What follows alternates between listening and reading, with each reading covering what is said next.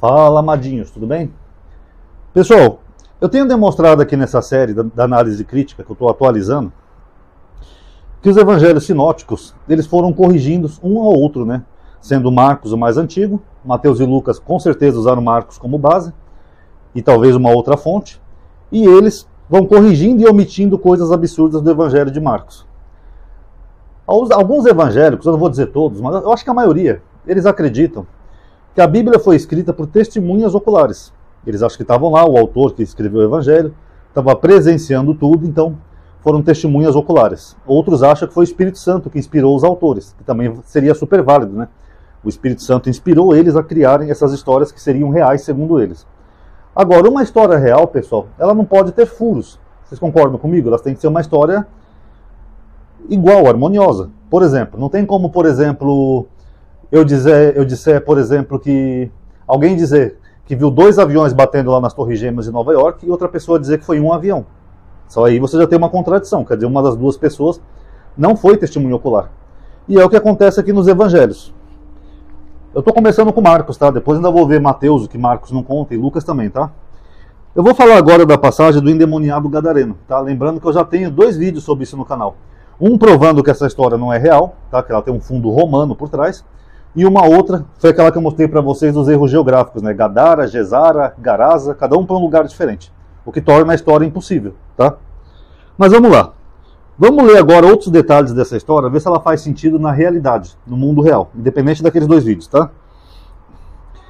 Chegaram do outro lado do mar, a região dos Gerazenos. Aqui a Bíblia de Jerusalém comenta, ó, a atual de Gerache está situada a mais de 50 quilômetros do lago Tiberíades, que eu mostrei naquele vídeo o que torna impossível o episódio dos porcos. Impossível. A própria Bíblia de Jerusalém comenta que é uma história impossível na realidade. Tá, mas eu não vou me alongar aqui não, porque eu já falei disso em outros vídeos. Logo que Jesus chegou do barco, caminhou ao seu encontro, vindo dos túmulos, um homem possuído por um espírito impuro. Habitava no meio das tumbas e ninguém podia dominá-lo, nem mesmo correntes. Muitas vezes já o haviam prendido com grilhões e algemas mas ele arrebentava os grilhões, estraçalhava as correntes e ninguém conseguia subjugá-lo. Quer dizer, esse cara é um super-homem, pessoal. Como é que você vai colocar uma, um grilhão num homem e ele vai esmagalhar os, os, grilhões? Até um animal você consegue prender com correntes, um elefante, um urso, animais de grande porte. Mas esse homem aqui era o fodão, era o super-homem. Milagre não ter esmagado Jesus e os apóstolos ali. Era, era o Hulk da Decápolis aqui. E sem descanso, noite e dia, perambulava pelas tumbas e pelas montanhas dando gritos e ferindo-se com pedras. Ao ver Jesus de, de, de longe, correu e prostrou-se diante dele. Bom, deixa eu colocar aqui já alguns detalhes para a gente poder comparar, tá? Eu estou no Evangelho de Marcos. Marcos fala que era um homem. E esse prostrou-se, pessoal, algumas Bíblias colocam como adorou. Porque você prostra-se a alguém em sinal de respeito, em adoração, veneração. Inclusive eu escrevi errado aqui, não é adorou, é adorou.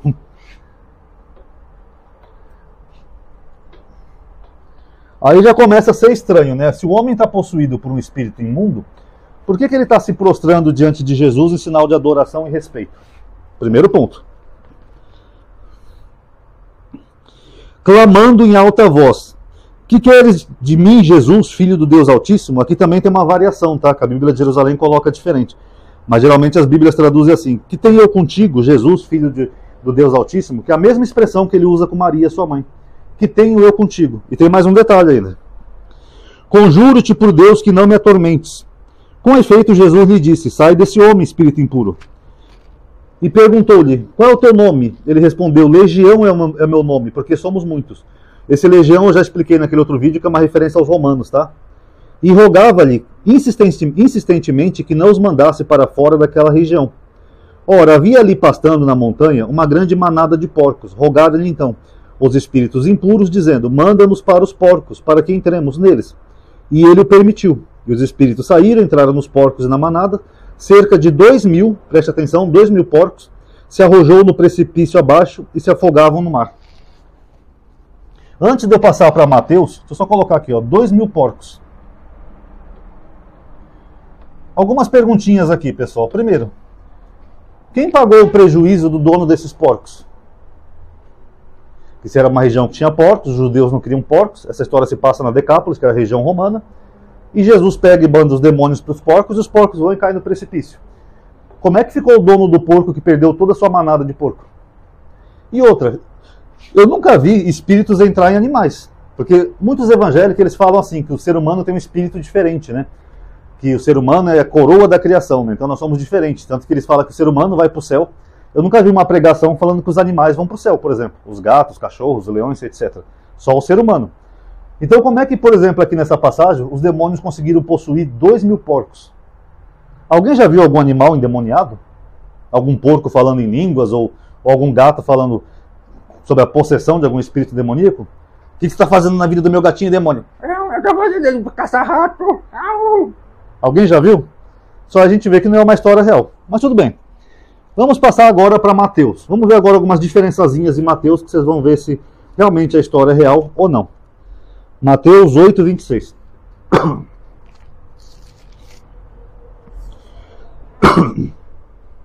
Ao chegar ao outro lado, ao país dos Gadarenos, vieram ao seu encontro dois endemoniados. Opa! Aqui era um homem. Mateus já falou que era dois. Como é que pode isso, pessoal? Era um homem ou dois homens? Complicado, né, pessoal? E vieram ao seu encontro dois endemoniados saindo dos túmulos. Eram tão ferozes que ninguém podia passar por aquele caminho. Eis que puseram-se a gritar: Que queres de nós, filho de Deus? O que, que Mateus está omitindo aqui? Ele está omitindo que os demônios adoraram a, a, Jesus e os superpoderes desse homem, que ele quebrava grilhões, corrente. Mateus viu que isso ia ficar um pouco meio absurdo, então ele omitiu. Onde é que foi parar aqui em Marcos, Mateus? Vou colocar aqui, ó, a super força do endemoniado. Vou colocar a interrogação aqui. Onde é que foi parar? Porque um homem que não pode ser preso nem com correntes, nem grilhões que ele quebra, esmigalha, isso é um super-homem, gente. Nós estamos falando de ferro, aço. Se fosse assim, então ele seria mais forte que um animal. Seria mais forte que um grande, um animal de grande porte, mais forte que um urso, mais forte que um leão, mais forte que, que um touro. Tanto que Mateus omite. Onde é que foi parar isso aqui? Vieste aqui para nos atormentar antes do tempo? Aí o que tem eu contigo já harmoniza com aquilo que Jesus fala para Maria, né? Ainda não é chegada a minha hora. Que tenho contigo, mulher. Porque aqui eles falam a mesma coisa. Que tenho, que tenho contigo, Nazareno. Você viu atormentar a gente antes do tempo, que significa que ainda não é chegada a hora deles. Ora, a certa distância deles havia uma manada de porcos que pastavam. Os demônios lhe imploravam, dizendo: Se nos expulsa, manda-nos para a manada de porcos. Jesus disse: Ide. Eles saindo foram para os porcos, logo toda a manada se precipitou no mar, do alto onde o precipício pereceu nas águas. As pessoas ficaram assustadas, tal, não sei o que, etc. Vamos ver Lucas agora, tem mais uma diferençazinha, uma diferençazinha aqui, ó. Depois nós vamos voltar em Marcos. Lucas 8, 26.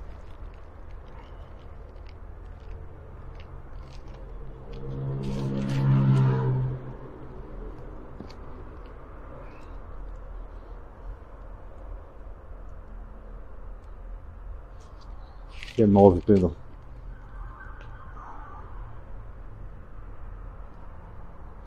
Navegar em direção à região dos Gerazenos, que está no lado contrário da Galiléia. Ao pisar em terra firme, vê ao seu encontro um homem. Ó, Lucas harmoniza com Marcos, ele fala que foi um homem. Da cidade, possesso de demônios. Havia muito que andava sem roupa e não habitava em casa alguma, mas em sepulturas. Cadê o, a superforça do homem aqui em Lucas? Ele também omitiu que nem Mateus. Logo que, viu a Jesus, começou a gritar e caiu-lhe aos pés e disse em alta voz: Que queres de mim, Jesus, filho do Deus Altíssimo? Peço-te que não me atormentes. Jesus, com efeito, ordenava ao espírito impuro que saísse do homem, pois se apossava dele com frequência. Meu gatinho derrubou um negócio ali. Para guardá-lo, prendiam com grilhões e algemas, mas ele arrebentava as correntes e era impelido. Então Lucas aqui ele coloca a super força que nem Marcos ó, Lucas. Aqui ele coloca a mesma coisa, que o homem arrebentava as correntes e os grilhões. Mas ele arrebentava as correntes e era impelido pelo demônio para lugares desertos. Jesus perguntou-lhe: Qual é o teu nome? Ele falou: Legião. Respondeu, porque muitos demônios haviam entrado nele. E rogavam-lhe que não mandasse para ir para o abismo. Ó, então, deixa eu só colocar aqui para vocês entenderem. Segundo Lucas, os demônios, não queriam ir para o abismo. Tá? Isso segundo Lucas. Rogaram-lhe porque não queriam ir para o abismo.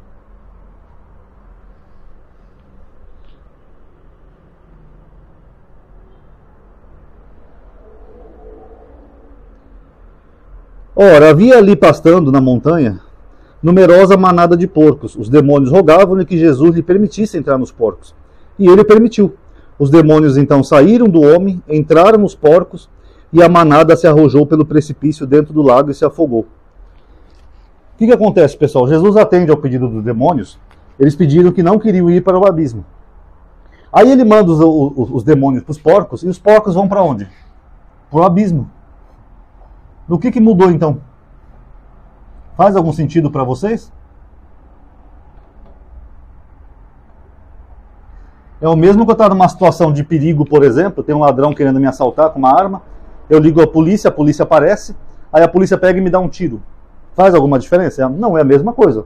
Eles não queriam ir para o abismo, mas eles acabaram indo para o abismo através dos porcos. Outra questão interessante aqui, pessoal, é essa questão de números de, de, de demônios, né? Dois mil porcos, então seriam dois mil demônios. Como é que caberia dois mil espíritos no corpo de uma pessoa? Mesmo se fosse uma possessão, vamos acreditar que existe uma possessão demoníaca. Vamos supor que existe. Poxa, mas ia ser uma confusão danada isso. Dois mil demônios dentro de uma pessoa? É demais, né, pessoal? Deixa eu só voltar ali Marcos, que tem um último detalhezinho ali, pessoal. Marcos 8. Meu gatinho está começando a ficar agitado já. Vou mandar ele para o abismo.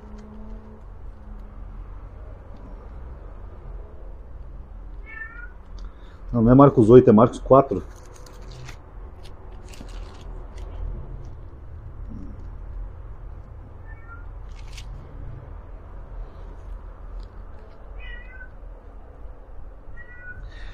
E as pessoas acorreram a ver o que havia acontecido. Foram até Jesus e viram o endemoniado sentado, vestido em são juízo, aquele mesmo que tivera a legião, e ficaram com medo. As testemunhas contaram-lhe o que acontecera com o endemoniado e o que houve com os porcos. Começaram então a rogar-lhe que se afastasse do seu território. Quando entrou no barco, aquele que fora endemoniado rogou-lhe que deixasse ficar com ele. Ele não deixou e disse-lhe: Vai para a tua casa e para os teus e anuncia-lhes tudo o que fez por ti o Senhor na sua misericórdia. Então ele partiu e começou a proclamar na Decápole o quanto Jesus ficaram, fizera por ele, todos ficaram espantados. Marcos acrescenta esse finalzinho, né, que o jovem pediu para seguir Jesus e Jesus não deixou. Ele falou: "Fica aí com os teus e anuncia o que o Senhor fez para ti". Agora vamos só concluir aqui então, pessoal. Era um homem ou dois homens? Por que, que Mar Marcos e Lucas falam que esse homem tinha uma super força, o que é completamente absurdo na vida real, e só Mateus omite? Vocês acham que existe na vida real um ser humano qualquer, mesmo endemoniado, ou um louco, completamente louco, que tem que usar uma camisa de força, que a camisa de força é para isso? Você acha que tem alguém que consegue quebrar correntes e algemas? É uma pergunta honesta que eu faço. No mundo real, na realidade, existe alguém que possa fazer isso? Outra, essa passagem fica a 50 quilômetros do mar. Eu já mostrei naquele vídeo de erro geográfico que as três localizações estão erradas. Só de Lucas que se aproxima um pouquinho mais. Como que pode ser real essa história, pessoal? Outra, caberia dois mil porcos dentro de um homem? Ah, perdão, dois mil demônios dentro de um homem? Não é um pouco exagerado isso, pessoal? Complicado, né? E outra, por que, que o homem adora primeiro Jesus? Ele não eram demônios? Por que, que os demônios usam a mesma expressão que Jesus usou com a mãe dele? Que tem eu contigo, mulher, ainda não é chegada a minha hora.